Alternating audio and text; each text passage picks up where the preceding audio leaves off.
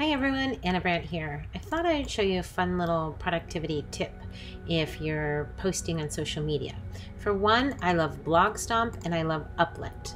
So what I do is I drag images when they're finished over to Blogstomp. And then I'm gonna pick, now I can just batch it and resize them or I can pick some for a collage. So let's say I pick parents looking up, parents looking down, maybe a bucket. This one. And I like this one. And so let's say I wanna make a collage here.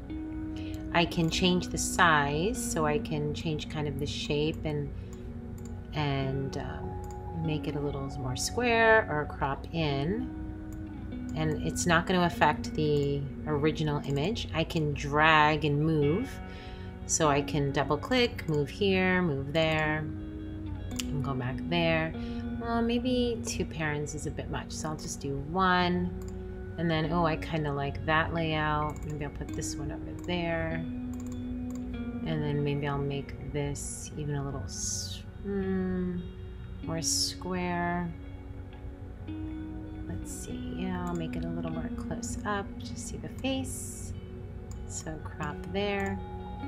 And then good. I like it. So then I stomp it. And it's going to make it nice and small.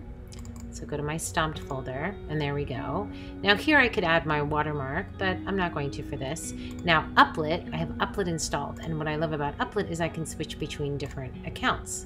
So if I drag over here, and then I'll put Baby James, photographed at the Dallas Baby Clinic.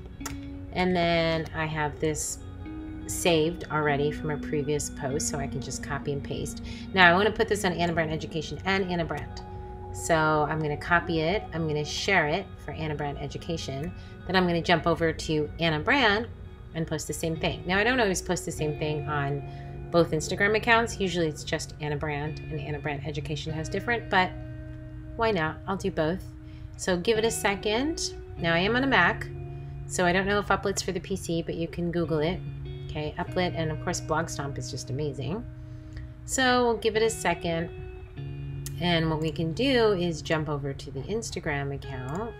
We'll jump over to Ana Brandt Education. And you can see that it's already there. See here are my other two examples. Now I'm going to jump over to Ana Brandt and I'm going to post it on Ana Brandt. So it's not there yet on Ana Brandt. So let me drag it over to Ana Brandt and I'll just copy and paste my caption. Okay, and you can do this for videos too, by the way. And oops, I want to put this on Ana Brandt. So let me jump over to Ana Brandt. There we go. It's all ready to go. And then just hit share. Give it a second. And you will see it on Ana Brandt Instagram. So I used to have to airdrop to my phone and then post from my phone, and it was such a pain. And so now I love Uplet. I love it especially because I have multiple Instagram accounts, so I'm going to load them all up so I can just bounce back and forth. And what's great is when I'm culling and sneak peeking and finalizing images, just takes a quick second or two and you can do this. And if I reload, there you go. So there's a little productivity tip. I hope it helps you.